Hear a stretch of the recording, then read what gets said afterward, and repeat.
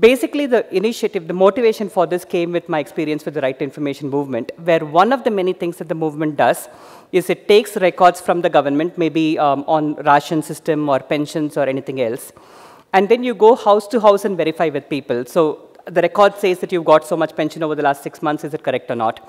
The record says that you worked in this NREGA project and you were paid so many rupees, is it correct or not? What this process does is that it brings bureaucratic corruption, especially at the lower level, out very, very clearly.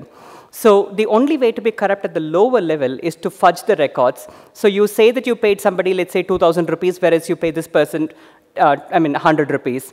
You may be paying somebody who's been in jail uh, for last 20 years on paper, uh, whereas you've been paying this person, you know, um, and then taking this money and so on. What we realized is that the social audit process is extremely powerful. But the problem with it is that it takes an enormous amount of effort for you to get the papers, for you to process it, go house to house on a regular basis, and then, uh, and then verify this information.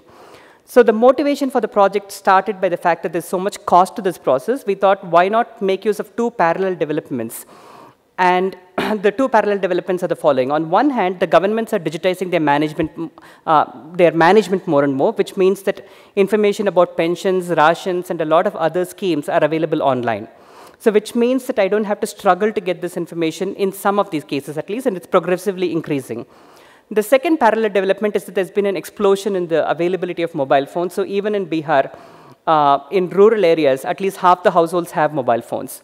So we thought, why not take, make use of the two factors, collect information from, I mean, uh, information that's available online and disseminate it to people via mobile phones. So people don't have to apply under the Right to Information Act, wait to get this information and so on. And so transparency can be proactive, transparency can be relentless.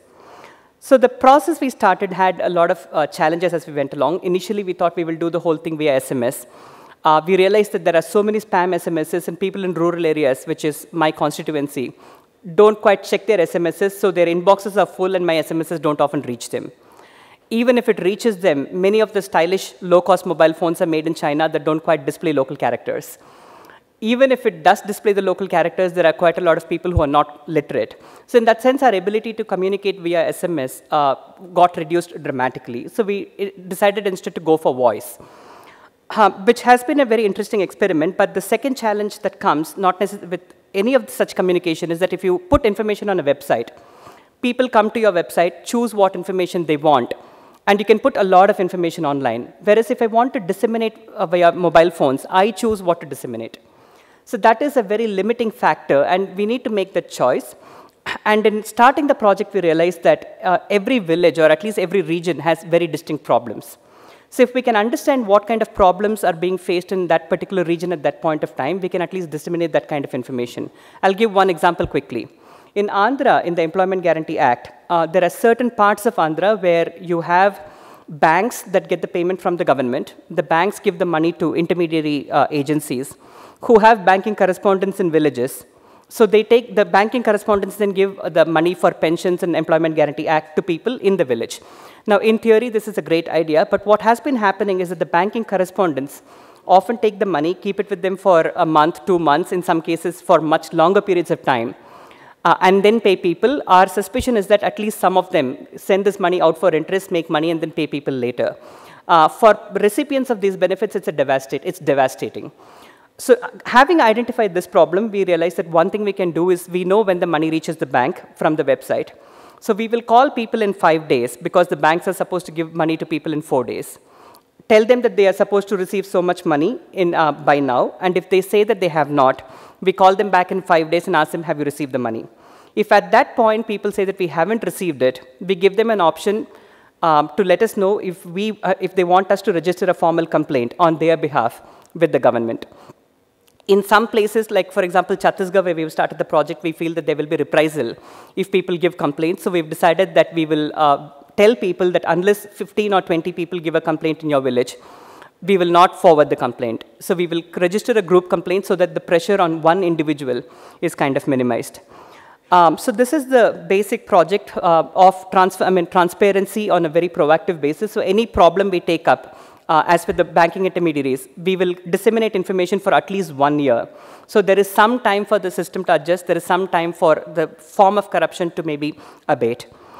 But um, so even this, that we, uh, the process that we've started still has a lot of different challenges. One major challenge is that uh, women uh, in rural areas very rarely own mobile phones. Even when they own mobile phones, their uh, ability to uh, deal with phones. So for example, a lot of them don't use address books. So if you give them a phone number and ask them to call you instead of you calling them, that may not work. Lots of areas where I work, the mobile phone uh, connections are very, very patchy. So what people may do is to go to one corner of the village in order to make their phone calls. That's okay if they want to make a call, but if I want to call them, this doesn't work as well. So you might try a thousand people, but reach only a hundred. So in that sense, there are lots of challenges in using mobile phone as a medium, but it's an extremely promising medium. The reason I'm bringing all of this is that I'm being selfish. I want to hear from many of you who are trying similar initiatives with mobile phones and find out what kind of um, mechanisms you have adopted to get around it. We've got some fantastic suggestions in the process. The one suggestion I've got in the past is people may not be, uh, in, in many of these areas, people go to markets every week. So the haat typically tends to have better mobile connectivity. So if you want to call them, call them at a particular day uh, when the haat happens. So there may be other very clever ways of getting around it. I would love to hear them from you. I would love to hear what kind of challenges you face.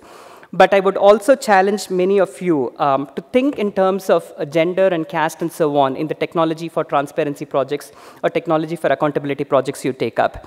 I'm saying this because I've been asking this question to a lot of people. There are hundreds of technology for transparency projects that have come up all over the world. I've asked the question of have you thought about gender? Have you thought about whether women use your system as much as men do? Um, what happens across class and so on to hundreds of people? The typical answer is most people don't.